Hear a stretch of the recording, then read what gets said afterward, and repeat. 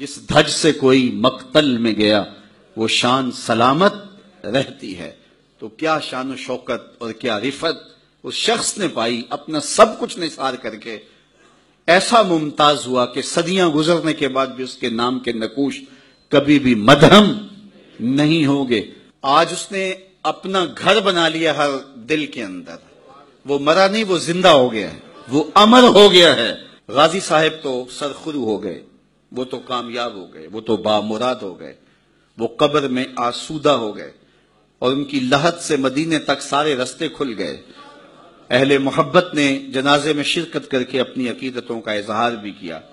लेकिन जिन लोगों ने गाजी साहब को फांसी फंदे पे चढ़ा के ये समझा था कि शायद हम ये कजिया तमाम कर देंगे, उनको जनाजे के दिन पता चल गया कि ये गाजी तो ज़िंदा हो गया है। इसको यूँ छोड़ देते तो ये ताकत पैदा ना होती। फांसी देने से जो ताकत पैदा हुई है। इतने बड़े जनाजे ने लिबरल तबके के मुँह पर तमाचा मारा कि तुम समझते हो कि पाकिस्तान जो है वो, जो है वो हमारी आरजुओं का मरकज और मस्कन बनेगा। देख लो, पाकिस्तान बनाया भी उस शाक रसूल में है और पाकिस्तान जो है वो वरासत भी उस शाह के रसूल की है। और फिर इतने लोगों ने एक पुरअमन इज्तम लाखों की तादाद में लोग थे। मैंने अपनी आँखों में ज़िंदगी में इतना बड़ा हज के बाद इज्तिमा नहीं देखा है। और जिसने भी ये जनाजा देखा, उसके यही जज्बात हैं। लेकिन एक पत्ता भी नहीं टूटा है। और ये हमारा पुरअमन चेहरा था जो लोगों के सामने आया, चूँकि हमारे अबाउजदाद ने इस पाकिस्तान को बनाया था। हम इसकी दुकानें क्यों तोड़ते? इसके पेट्रोल पंप क्यों जलाते? इसकी गाड़ियों को आग क्यों लगाते? एक खामोश पैगाम गया है पूरी दुनिया के ऊपर कि ये अमन के दाई लोग हैं। लेकिन दूसरी बात, ये पुरअमन इज्तिमा और ये इतना बड़ा हजूम जो पैगाम दे गया। दूसरी जानब, ये बात भी जहन में रख लो कि ये कई गाजी पैदा करके गया है। अब इस काफिला इश्क मस्ती को कोई रोक नहीं सकता और वो ज़ुबान खींच दी जाएगी जो रसूलुल्लाह के खिलाफ निकलेगी। ये मुल्क निज़ाम रसूल की तरफ़ बढ़ रहा है इंशाला सिर्फ़ हमारी जिम्मेदारियाँ हैं, हम उनसे ओदा बरा होना है। हमने गाजी की इस शहादत का हुक्मरानों से बदला लेना है।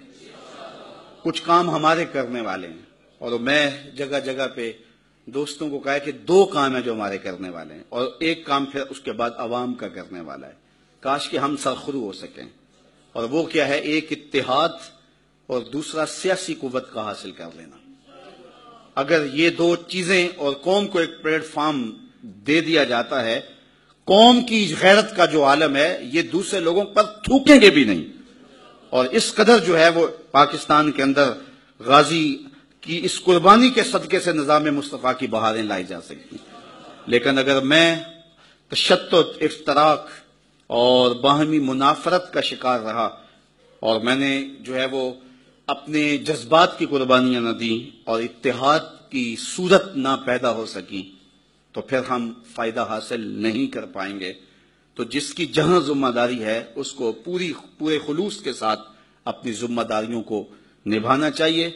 बाकी गाजी कल भी ज़िंदा था, गाजी आज भी ज़िंदा है। वो सरखरू हो गया, वो अमर हो गया, वो बामुराद हो गया। वो जिस काम के लिए उसकी ड्यूटी लगाई गई थी, चूँकि दो सौ पचानवे सी को खत्म करना चाह रहे थे उस वक्त, और बाकायदा असम्बली के अंदर जो है वो बिल आ गया था, दो सौ पचानवे सी के अंदर तरमीम कर दी जाए और इस कानून को गैर मुसर कर दिया जाए। एन उन हालात में गाजी ने शहादत पेश की है, उन हालात के अंदर उसने जो है वो कार्रवाई की। और वो कार्रवाई किसी और ने नहीं की है। इसलिए कि जो लोग बोल रहे थे, वो कह रहे थे, जो मर्ज़ी करे, हमारे इर्द गिर्द सिक्योरिटी के हिसार होते हैं। हमें कौन छेड़ सकता है? लेकिन सिक्योरिटी का एक शख्स उनको कत्ल करता है, इस बात का पैगाम था। कि तुम जिसको अपनी हिफाजत का हिसाब समझते हो, वहाँ से पैगाम मौत तुम्हें आएगा। और वो लटकी हुई जुबानें फिर वापस मुँह में चली गई। और किसी को हिम्मत ना हुई और बिल भी वापस हो गया। तो गाजी जो है वो नामूस रसालत के इस कानून को जो है वो महफूज कर गया। और कई सालों के लिए जो है वो उसने अपने खून से इस कानून को महफूज किया है।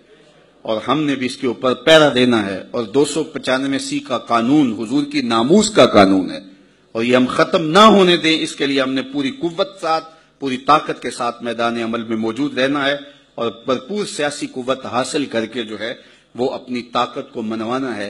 बाकी गाजी कल भी ज़िंदा था, गाजी आज भी ज़िंदा है, उसका नाम भी ज़िंदा है, उसकी फ़िक्र भी ज़िंदा है और वो रोशनियाँ बखेर गया और अपने इर्द गिर्द अकीदतों का ऐसा हजूम जमा कर गया कि इतना अरसा गुजरने के बाद वो वलवलों को हर आने वाले लम्हे एक ताजगी और एक फरहत मिल रही है।